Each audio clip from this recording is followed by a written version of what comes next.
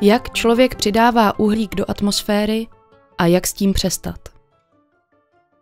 V přírodních podmínkách by uhlíku bylo v soustavě ovzduší, půda, vegetace, oceán stále stejně.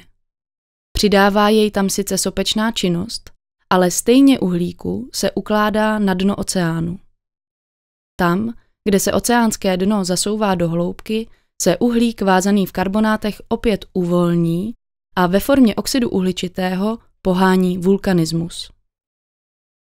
Člověk svojí činností ale uhlík do ovzduší přidává stonásobně rychleji než vulkanismus. 10 gigatun ročně, to je skoro 40 gigatun oxidu uhličitého, CO2.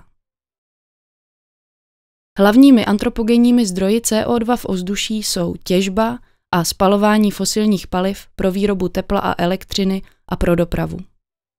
Desetkrát méně připadá nakácení a vypalování lesů a úbytek humusu v půdách.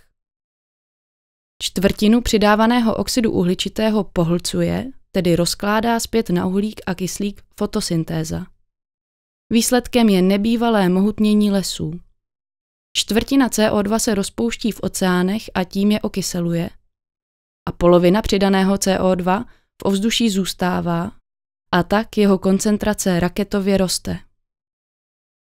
Aby obsah uhlíku v ovzduší přestal růst a začal klesat, musí skončit užívání fosilních paliv. Ta mohou být nahrazena teplem a elektřinou z jiných zdrojů, které svým provozem škodí mnohem méně nebo dokonce prospívají. To se označuje jako dekarbonizace.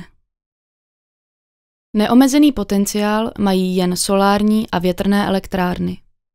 Ty musí být doplněny novými vedeními vysokého napětí přes kontinenty a moře.